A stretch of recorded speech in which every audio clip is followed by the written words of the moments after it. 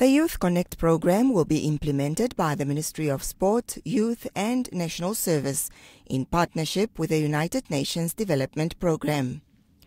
The organizations conducted a stakeholders engagement prior to the launch that will be held in October.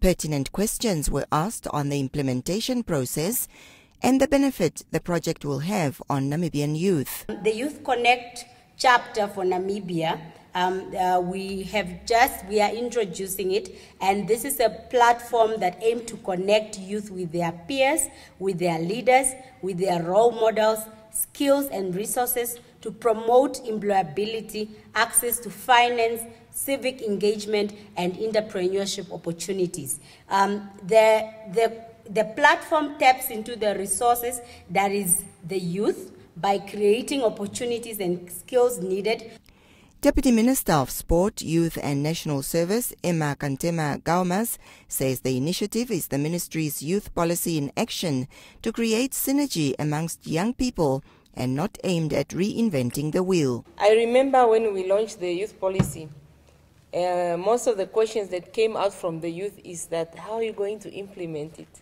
And I think we are witnessing policy in action because that youth policy really anchored on coordinated framework. It places honest on the um, players who are involved in youth matters to really provide that comprehensive platform.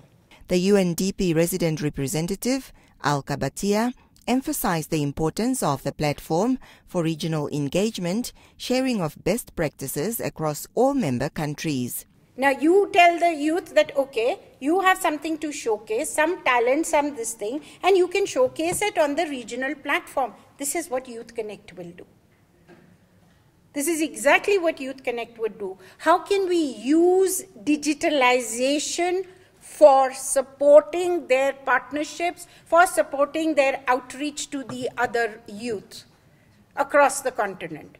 So these are the ideas, innovative ideas that we, you need to give us, the youth needs to give us.